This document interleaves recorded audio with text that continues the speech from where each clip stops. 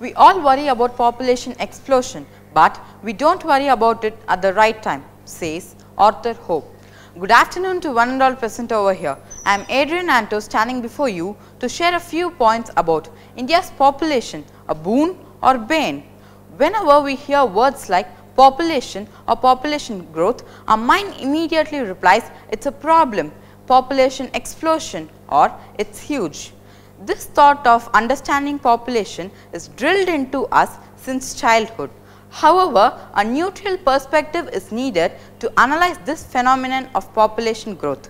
India has the second largest population in the world and surprisingly our country India is depending upon this population for achieving its ambition.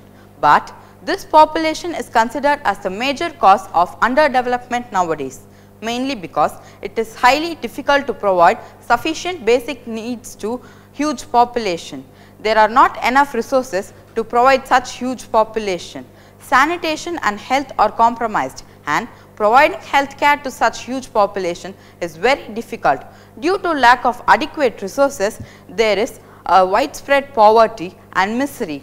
It is difficult to make all happy. If many are not happy, it leads to social unrest and there are also employment issues due to huge population.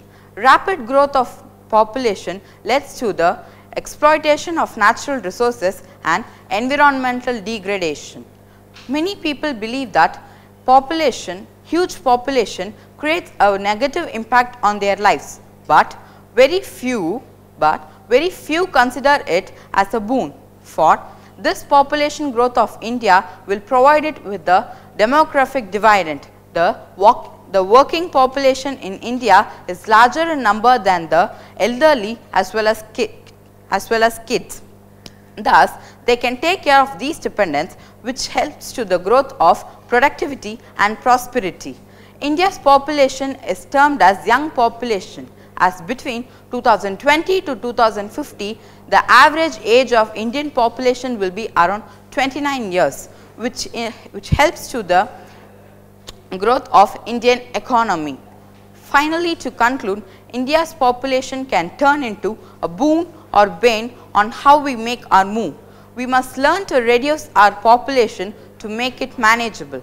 The National Population Policy 2000 will be having a stable population by 2045. Thank you.